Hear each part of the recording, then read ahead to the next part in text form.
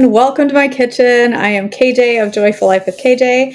I am a Trim Healthy Mama certified coach and a certified nutrition coach, and soon to be certified food addiction coach. Um, I'm going to help you today make your own low carb wraps. I have been on a journey with no gluten, no eggs, and no dairy um, and very, very few grains as I work through some health issues. I have a um, case of gut candida that requires a little bit of a special diet for now, at least temporarily, as I kill off the candida. So, one thing that I enjoy a lot is uh, bread. Who don't? If you don't like bread, who are you? I don't eat a lot of sprouted bread anymore. At one point in my journey, I ate a lot of healthy whole, sprouted whole wheat bread, um, but I found that that can be easily overdone. It's not the bread's fault, um, and it's not the toaster's fault, but it's KJ's fault. I can easily overdo bread. So I would have low carb wraps in place of that. And I would often take the low carb wraps um, with me. I called it my emergency purse tortilla, and I carried it with me so that wherever I was, if my family wanted to go out to eat at Chick fil A or whatever, they, they needed, they wanted takeout or drive through, I would pull up my emergency car, car tortilla, purse tortilla, whatever you want to call it. And I would order grilled chicken with cheese and bacon and mayo and all the yummy stuff. And I'd slap it in this tortilla with some veggies. And now I had what felt like bread instead of just always having a bunless burger. Well, since I am now gluten free, that's even more difficult. And gluten free wraps, when you look at the ingredients, are usually full of things like tapioca starch and rice flour and things that are not so great for your blood sugar um, and certainly not great for your waistline. So I need to make my own tortillas. I need to have my own low carb tortilla. So I'm going to make some today using lupin flour as one of the ingredients. And I just spilled my arrowroot powder all over my counter because the bag won't close and I just spilled it all over my phone. So there. If you've ever wondered if being a mess in the kitchen is normal, I'm here to tell you, yes, it is. Or at least it's my normal. All right. Lupin Flour. This is the brand that I use. There are lots of brands available. I use Anthony's from Amazon. I'll leave a link at the top where you can get this. Um, I am just learning how to use lupin flour. It kind of has a, it's got a, a smell, but I can never, it's kind of sweet smelling, kind of, I don't know. It reminds me a little bit of peas. Maybe chickpeas or peas, maybe. I don't know. Basically, lupin flour comes from sweet lupini beans, which are a legume. They're kind of like uh, peanuts. Um, they uh, soybeans is another good comparison to the type of legume that they are. I found it interesting on the back. It says, found in Egyptian tombs, lupin beans have been consumed for centuries. Not only were pharaohs powerful, but they were on low carb diets as well. Who knew? Who knew that the Pharaoh was gluten free? All right, so this is a little drier than normal flour, soaks up a lot more water. Um, it's got a distinct flavor, but not a bad flavor. It kind of tastes a little bit like corn ish. I mean, it has its own flavor. It's not bad. I really I'm learning to cook with it. It's a different flour. It's not as dry as coconut flour. It's not as wet as almond flour. It's it's different and it takes some practice. So we're going to try to make low carb tortillas here today because KJ needs her emergency por- purse tortilla. So I'm going to start with a third a cup of lupin flour and I'm going to use a half calm down. A half a cup of um, Trim Healthy Mama baking blend. You could use almond flour as well. I may need to add a little extra liquid to mine than you would if you used almond flour, but I'm trying to avoid um, too many nuts and I don't want this to be super duper high fat. I'd like this to say low fat and low carb together, not just low carb.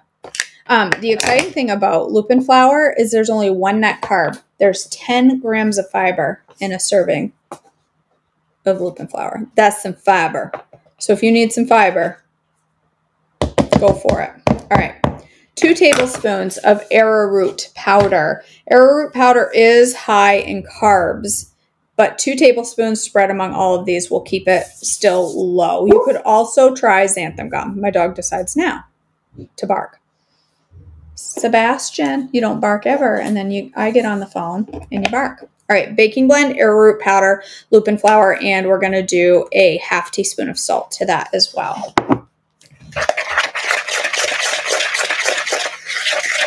All right, and the only other thing we're going to add now is our water. We're going to do six tablespoons of water. This should make six good size tortillas, I think, um, or four kind of mini. I just said that wrong. Six mini or four kind of big tortillas. Start with six tablespoons of water. Try to form it into a dough. You don't want your dough to be so sticky wet that you can't work it at all. So if you work your six tablespoons in and it's still dry and crumbly like this, add more. But take your time. Don't add too much because you don't want them to be super sticky. You want a nice dough, but not so sticky that you can't spread it out. Doesn't need to be wet like pancake dough. It needs to be more firm like actual dough. I think I'm going to add another maybe two tablespoons total. It depends on where you live, how dry your flour is. You could use the same amount of flour or liquid as me and get a completely different result. So just take your time with the flour. But you'll likely need at least six tablespoons. So, all right, now I have a nice dough that's not sticking to my hands very much. And it's not sticking to the bowl, but it is sticking to itself. So, should have a nice dough, nice yellow. They're to kind of look like corn tortillas because of their color. So once you have your ball, we're just going to cut that into fourths because I'm going to make four larger tortillas. These aren't going to be huge tortillas, but they're going to be a decent size.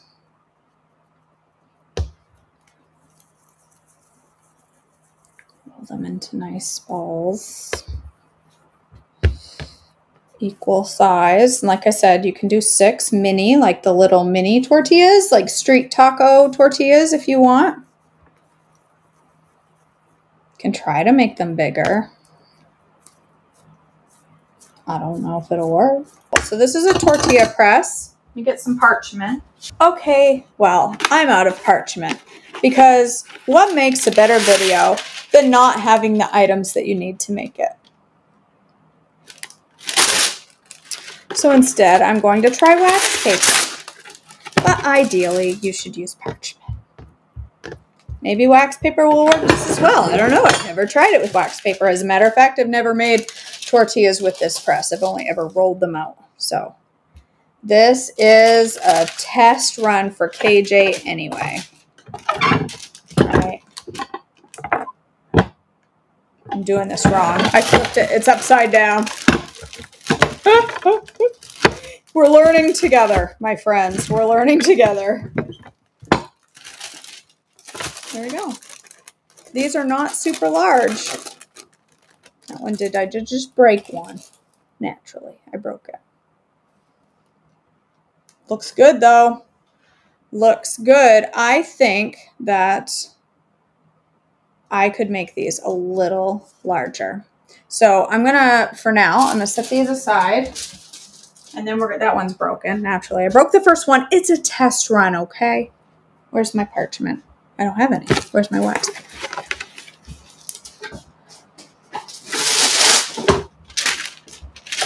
All right. Should we try? Let's see.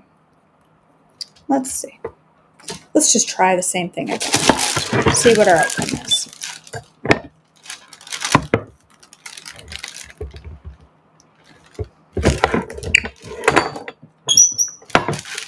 They came out, they're coming out so beautiful. Look at them. I can't wait to taste these. Okay, so we're gonna heat our pan up to kind of a high heat. Get it good and hot, and then we're just gonna cook these for a couple minutes on each side.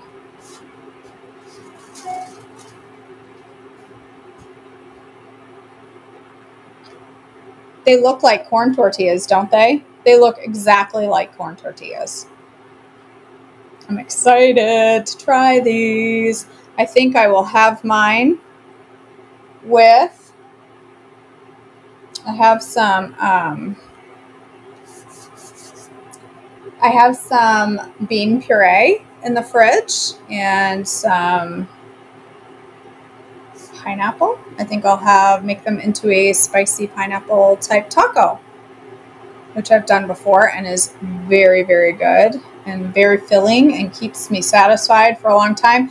And these will as well. These do have um, this batch, this whole batch, has 12 grams of protein just in the tortillas. So if you ate all four of these tortillas, they would be a fuel pull with 12 grams of protein. You just want to keep your filling if you're eating the whole batch.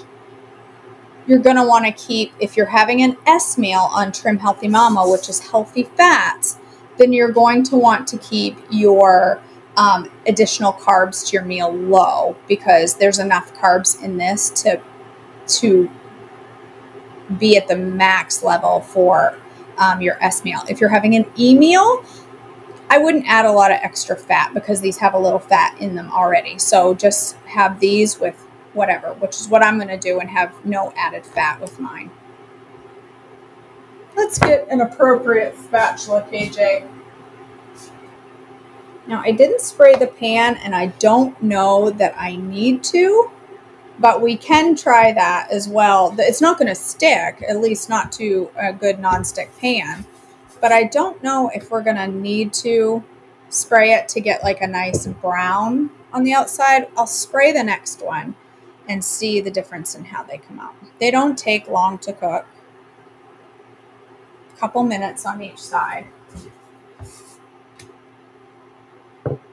They feel like they're going to be a really good texture. I'm excited. I hope they hold together well, stay pliable. If they don't stay super pliable, I may try replacing the flour, the eh, sorry, the arrowroot powder with xanthan gum and see what happens. Because xanthan gum can remain pliable as well, but arrowroot may be good. Yeah, she's hot. So let's let it cool a little before I get too excited. Now let's try one with spray and see how it comes out.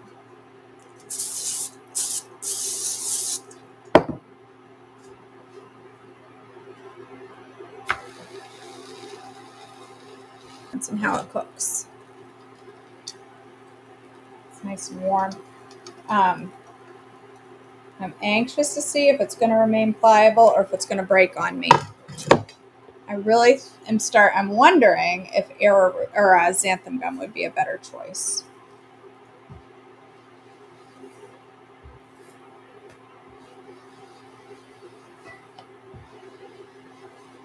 Because I want something that's going to remain pliable in my fridge so that I can make up a large batch of these and put them in my fridge. Another great way these would be these would be really good is once they're cooked and they're cooled, to add some fat to your pan and fry these up. Ooh, that got nice and golden brown with the with the um, spray on it. Um, fry these up in some fat and a little fat. Get them nice and crispy. Put them on your pan. Fry up. Uh, put some whatever you want. You could put some fat free. Um, a small amount. What is going on with my hand? Okay, this is interesting.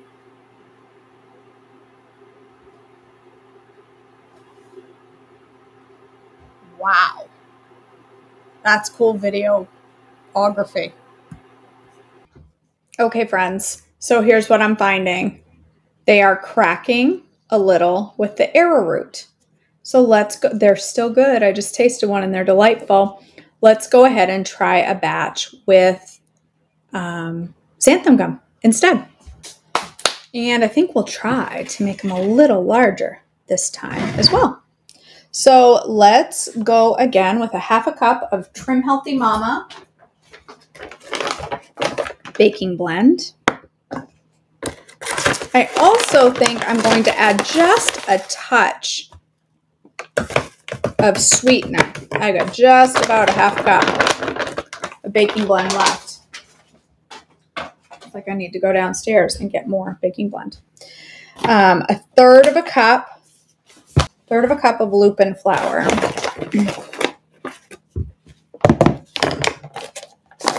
Let's do xanthan gum this time instead.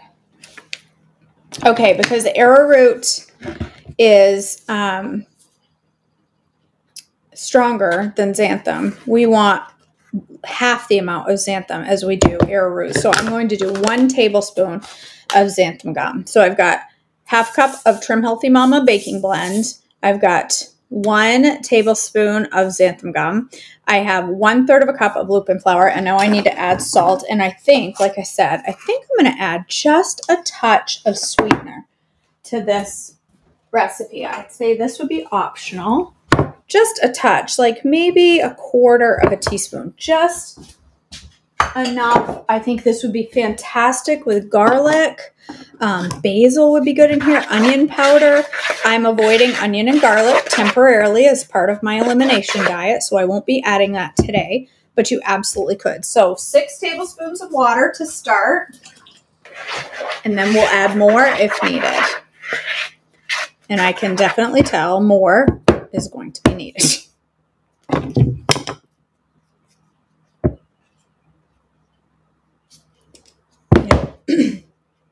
if I stirred this with an actual spoon to start and not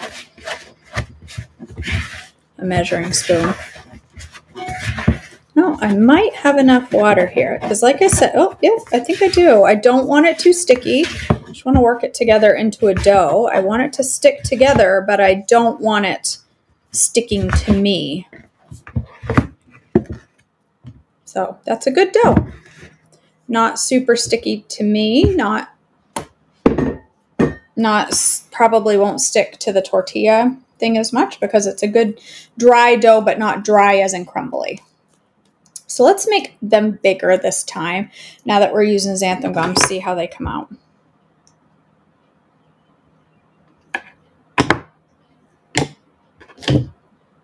Get my tortilla press.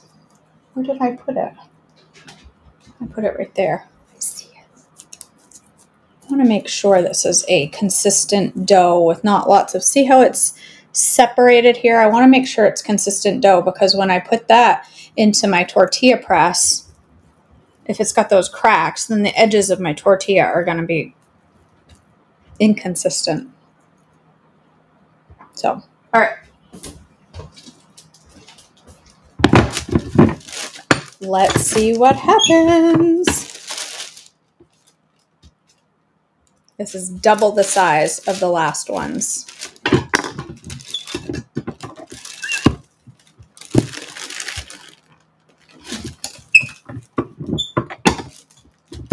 Didn't quite make double, but it is a lot bigger than the last ones. All right, this dough is stickier with the xanthan gum than it is with the arrowroot powder, which could be a good thing because that could mean that it is going to um, be more pliable, which is what I want. I want pliability. I want it to remain nice and soft so I can have this, make a nice sandwich out of this wrap. It's hearty too. This tortilla maker presses them relatively thick.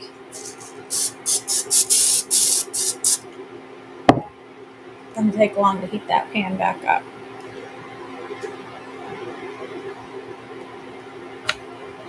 All right. Let's let that go, see what we get. Again, add whatever seasonings you want to this. If you want onion powder, oregano, basil, cumin, whatever you want. It's your tortilla. Do what you want. I don't care. I'm keeping mine just basic for now for this attempt. All right, without the arrowroot powder, these are even lower carb because xanthan gum has lower carbs. Xanthan gum, I take it back, has the exact amount of carbs. Never mind. Don't listen to what I have to say. I'm not right most of the time. Kidding.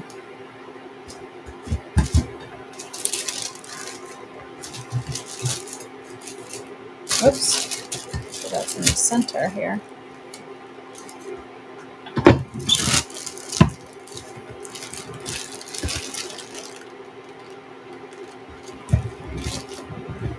There, I pressed harder on that one. That one got even bigger and thinner. So apparently, depending on how hard you press. Now my um, wax paper is getting a little coated and stuff, and I probably should have replaced it with a new piece because as they get coated, they get more and more sticky.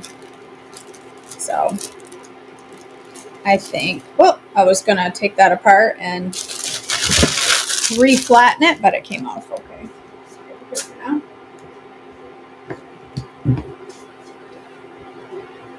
Ooh, I like the bubble effect this one is giving me with the xanthan gum versus the arrowroot.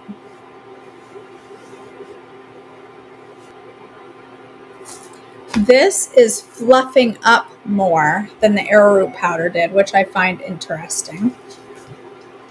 I'm no food scientist, so don't ask me why. Couldn't tell you. I don't know. This is more thick. This one, I don't think I either didn't squeeze it enough or the xanthan gum is making it super fluffy and giving it more of a pita texture, which I'm not opposed to um, because honestly, I like hearty. Girl likes to eat. This is more like a, whew, it's like a flatbread.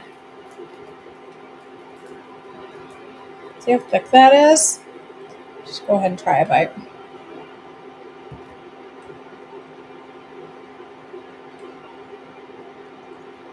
Mm-hmm. That sweetener played a big role. I really like the addition of the sweetener very much. That is fantastic for a gluten free, grain free, egg free flatbread, dairy free. That is good. Oh, it's so good while it's warm. That would be good with peanut butter and jelly on it. I can't eat peanut butter right now. Dog heard me say peanut butter and came running. Did I hear peanut butter? There's a piece on the floor I already dropped that you won't eat. Okay, so now I'm going to make just a little filling to go in my what we're now calling flatbreads because they're more like flatbreads. Now I'm not going to add any fat to this because there's plenty of fat in my um, in my meal. I don't need any extra fat. I've already got a little bit of fat from the cooking spray. There's a small amount of fat, three grams or so from the lupin flour. So I'm not going to bother adding any, but I need some moisture when I cook this or it's going to be drier than a popcorn fart. Chicken broth is my go-to added fat for sauteing anything. Does it work the same as fat? No, it's not fat but it works great. I'm going to throw in a bunch of jalapenos to that. That chicken broth, all that's really doing is helping my chicken warm through without without singeing on the pan since there's no fat. Because if I added just a little cooking spray, by the time that the chicken was warmed all the way through, it would be burning onto the pan without anything, any liquid or any fat in there. So I'm going to add to that a little bit of pineapple. First, I have to give the dog a piece because he's waiting patiently. So I'm going to add a little pineapple. Chicken, pineapple, and jalapenos. And then I'm going to add some seasonings. Now, if you are not avoiding certain things like I am, go ahead and add lots of garlic and lots of onion powder to, this. It's going to be delicious. I'm going to add some paprika because I add paprika to everything, whether it needs it or not. Why? I don't know. Because for me, even this doesn't even have a lot of flavor to me, but for me, it's important that my food looks well seasoned. If it looks bland and pale, I ain't eating it. Looks too boring. So I'm going to add cumin, a decent amount of cumin. Garlic would be my go-to here, but temporarily there's no garlic in the picture for KJ. That's okay. I'll be all right.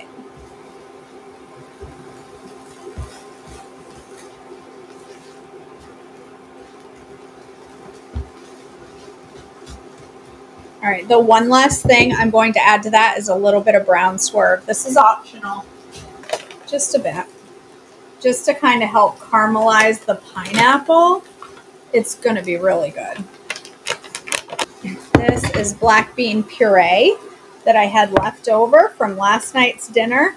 Black bean puree is a can of black beans rinsed and drained Add your favorite seasonings. To mine, all I did was cumin and cayenne.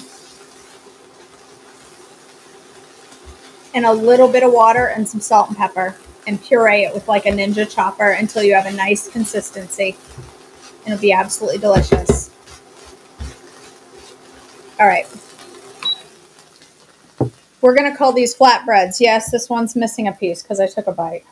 It's all right but they're thicker than the normal tortilla because when the xanthan gum made them puff up some. But look, they're nice and sturdy, hearty, and healthy. Gluten free, low carb, low fat.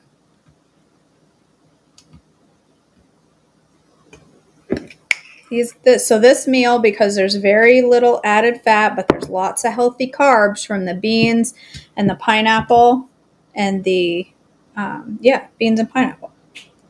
This is going to be a lovely E meal. I love black bean puree, you guys. It's so good. So good. Some of my spicy pineapple chicken filling on top of each one. Here you could add a little Greek yogurt or you could add um, sour cream if that's what you chose. If it was regular sour cream, and you're a trim healthy mama, it would be considered a crossover. So I would go with Greek yogurt, but since I am dairy free, I'm going to go with a little sour cream that I made from Silken Tofu. It's just basically silken tofu, lemon juice, and salt. Just to give it a, a little bit of a cooling, like, these are so good looking, I don't know what to do. Let's go ahead and try one. All right, you ready? It's a big old mut. Look at that. Look at that. That is a hearty meal right there. Mmm. That's good. Mmm. That flatbread is perfect. It's not overpowering in flavor. It's just a vehicle and it's a gluten-free healthy vehicle. And look how nicely it holds together this is good, y'all. If you need to be dairy free, egg free, gluten free, grain free, all the free, go ahead and make these. I think you'll really like them. They're super. You saw how easy they were to make if you make them right. Mm-hmm. That's good. All right, playing around a little bit. Here's what I got. This is half the dough right here to make one large thick flatbread. This can be used for a sandwich. This can be used to make a little pizza. This can just be pile your toppings on top, however you want to do it. It's soft, it's pliable, it's delicious. Mini taco, size. This is one quarter of the dough that you could make street taco size out of.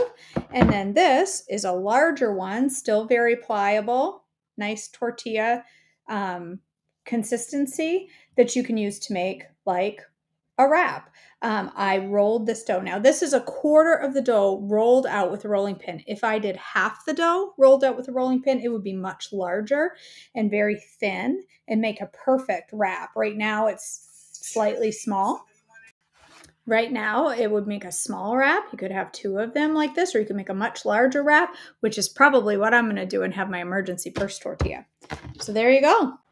Okay, so I calculated the actual nutrition of these tortillas. So the entire batch, which would be these, let's see, this is half, half. So this, whole, if I were to eat all of these right now, which I'm not going to, because this is they're pretty hardy. This is pretty dense and hardy. I don't think you'd want more than one, maybe for dinner, but they're pretty hardy. So the entire batch has 15 grams of protein. It has three grams of fat and 10, I'm sorry, three grams of carbs and 10 grams of fat. So these are um, if they're they're a fuel pull if you eat even if you eat the entire batch if you have no other added fat okay to your meal if you you can absolutely have them with an S. They're super low carb. And if you want to have them with an E, just stick to half the batch. Keep them at half the batch for your E. So this for your E or this for your E. Okay. Thanks for joining me. Please hit the like and subscribe button. I really appreciate your support and come back next time for more cooking with KJ. Have a great day.